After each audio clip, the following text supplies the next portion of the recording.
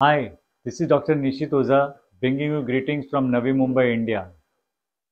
Friends, let us learn about first trimester screening that is 11 to 14 week screening. NT scan 11 to 14 weeks and serum biochemistry which together we called as combined test. There is one biophysical test and one biochemical test.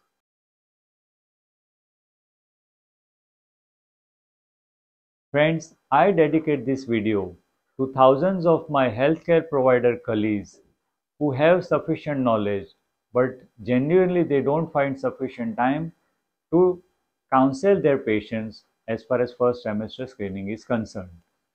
They may just forward the link of this video to their patients expecting couples and the couples I'm sure will definitely benefit from this.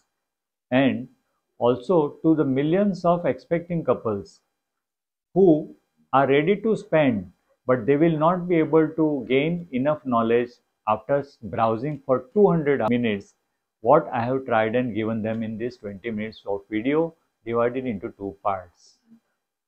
So Friends, in last 30 years, there have been lot of developments in the field of first trimester screening, which has inverted the pyramid of antenatal care. Previously, one had to wait till the third trimester till the complications develop like preeclampsia, fetal growth restriction, or patient had preterm birth, or the newborn would accidentally be found to have Down syndrome. Today, with the inversion of pyramid of antenatal care, one can predict, prevent, early diagnose and manage proactively the complications in pregnancy if they develop. So, let us talk about first trimester screening. How do we define NT or nuchal translucency? Nuchal translucency is the sonographic appearance of fluid under the skin behind the neck of the fetus seen in the first trimester of pregnancy.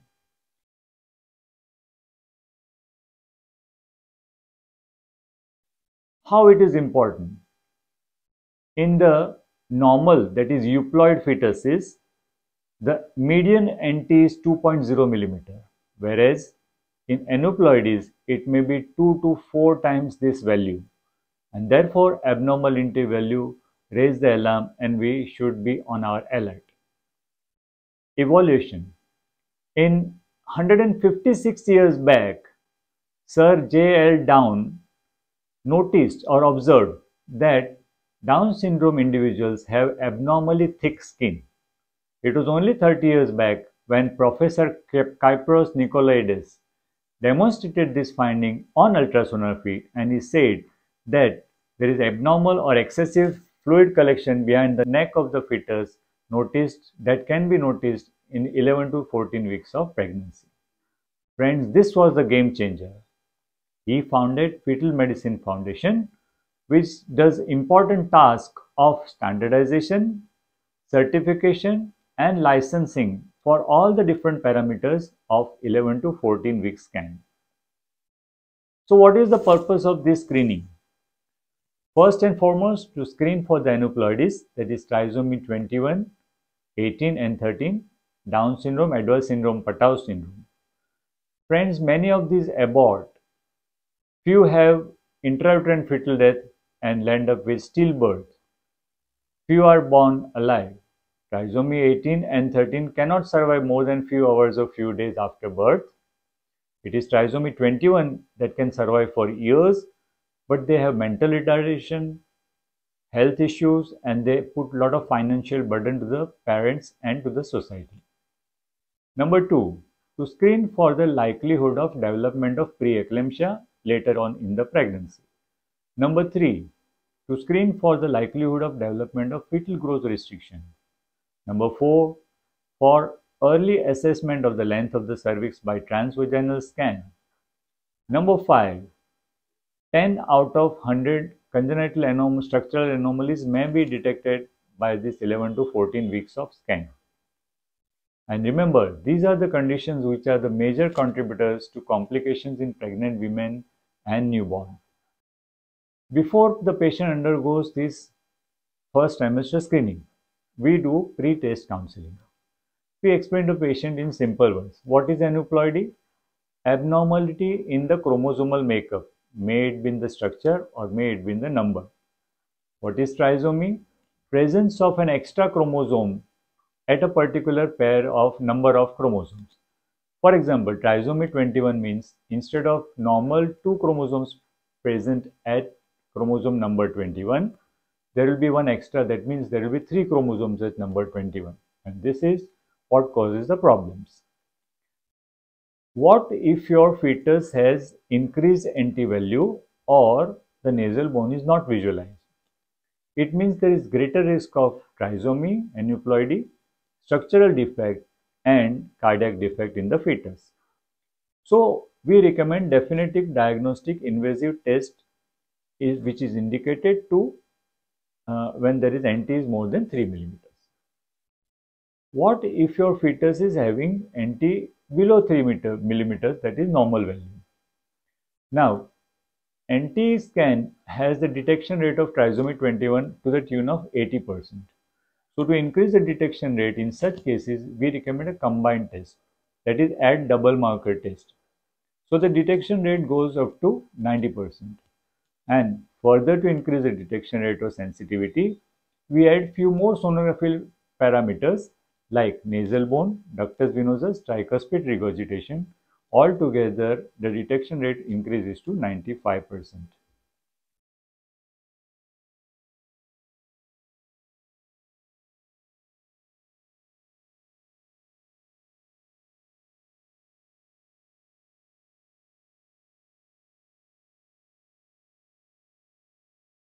What if the screening shows there is increased risk of preeclampsia or FGR? Your healthcare provider or your doctor may prescribe you certain medicines like aspirin for the prevention of this preeclampsia or FGR or for delaying the onset of preeclampsia or FGR.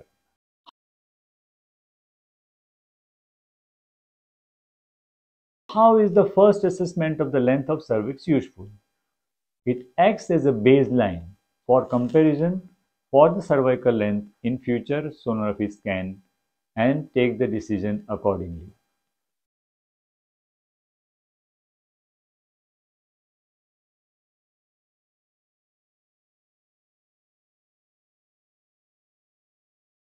What if you are detected to have structural anomaly in the fetus? 10 out of 100 structural anomalies can be detected in this scan and your healthcare provider will help you and to decide about the prognosis and help in the decision making. Now before the patient undergoes first trimester screening, we assign what is called as pre-test risk. We subject uh, the data, we put the data into the software the example, FMF, fetal medicine foundation software. From the history and from examination. From the history, mother's age at the time of delivery, how many children she has that is parity, previous number of miscarriages, aneuploidy in the previous pregnancy and which type of aneuploidy, history of smoking or tobacco consumption, maternal diabetes mellitus, maternal chronic hypertension, SLE, APLA syndrome, whether it is natural or IVF conception, and did the patient's mother have preeclampsia when she was pregnant? From examination, height in centimeters and weight in kilograms are added to the data in the software. Having put this data in the software, the software gives us the pre-test aneuploidy risk calculated on patient specific basis. That means it will give the patient specific risk to us. What are the detection rate of aneuploidy? In trisomy 21, let us consider maternal age alone has very low detection rate and high false positive rate. Why it is not alone sufficient. Double marker test has detection rate of 65%. NT scan alone has a detection rate of 80%. Therefore, we combine NT scan and double marker test. And the combined test, the detection rate is 90%. We add nasal bone to this, detection rate goes to 93%. All these have false positive rate of 5%. To this we add ductus venosus and tricuspid regurgitation.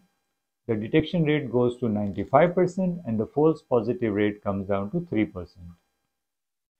Now for trisomy 18 and 13, nuchal translucency, double marker, nasal bone, ductus venosus, tricuspid regurgitation all together have a detection rate of 75% and a false positive rate of 5%.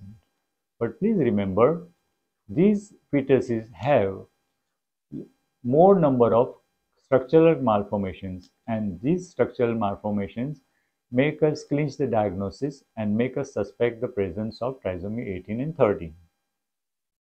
Detection rate of preeclampsia. When we use uterine artery PI on NT scan and add double marker, the detection rate is 84%. When we add uterine artery PI on NT scan, double marker and placental growth factor, the detection rate goes to 93%. So having counseled about the first trimester screening, the pregnant woman now undergoes NT scan and double marker test. Friends, having understood the basics of first trimester screening in the first part of video, let us now consider post-test scenario.